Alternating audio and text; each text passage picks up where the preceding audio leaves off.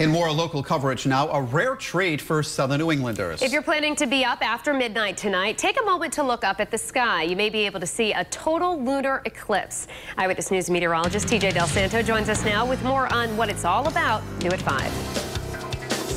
Weather permitting, we could see an astronomical treat in the sky tonight, a total lunar eclipse, and you won't need any special equipment to see it. If you wake up early Tuesday morning, look up at the sky. You may catch a glimpse of a rare phenomenon, a total lunar eclipse. Between 3 a.m. and 4.30 is the best time to look. The last total lunar eclipse visible from southern New England was in 2010.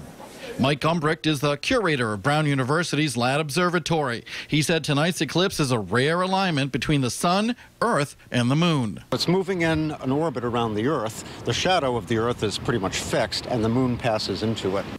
The eclipse begins at 1:20 a.m. when the moon moves into the part of the shadow called the penumbra. You probably won't notice too much as the moon's appearance will only change slightly. At 2 a.m., the partial eclipse begins and the moon slowly fades away. As you get more towards about 3 a.m., you'll start to see a bit of a dark shadow slowly pass across the moon. The shadow will completely engulf the moon.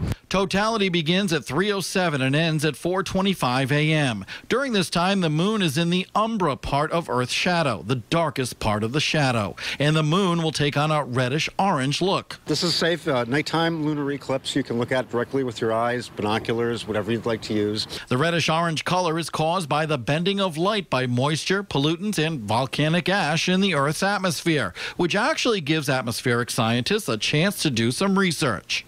So it, it's useful for studying the Earth's atmosphere, ironically, um, and it, it's just a, a beautiful thing to watch. A cold front working through the northeast will bring lots of clouds to southern New England, but you only need a few breaks in the clouds to see this total lunar eclipse.